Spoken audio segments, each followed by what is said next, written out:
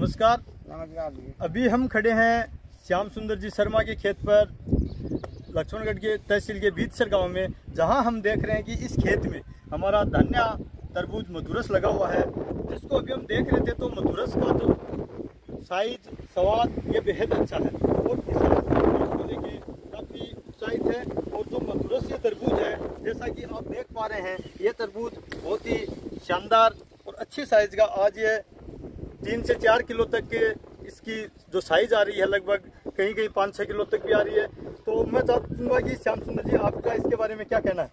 बहुत बढ़िया जी, मेरे यहाँ तो खूब लगे हैं तरबूज, और काफ़ी अच्छा रेट भी काफ़ी अच्छी मिल रही है मेरे को। बहुत बढ़िया तरबूज निकल रहा है अंदर से, बहुत मीठा, स्वाद भी मधुरस जैसा ये वास्तव में मधुरी सब्ज़ी है कहने का मैंने काफ़ी मेहनत की और वैसा ही फल मिला है मेरे को।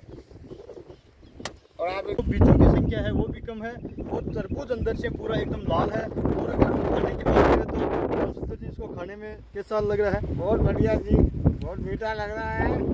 देखो ये खाने में भी ये तरबूज जो धनिया का मधुरस है बहुत ही स्वादिष्ट तरबूज है। तो हम दूसरे किसान भाइयों से भी ये कहना चाहते हैं कि अगर आपने धान्या का मधुरस अगर नहीं देखा है तो एक बार जहाँ भी धान्या मधुरस का खेत दिखे धान्या मधुरस ज़रूर देखें। धन्यवाद सब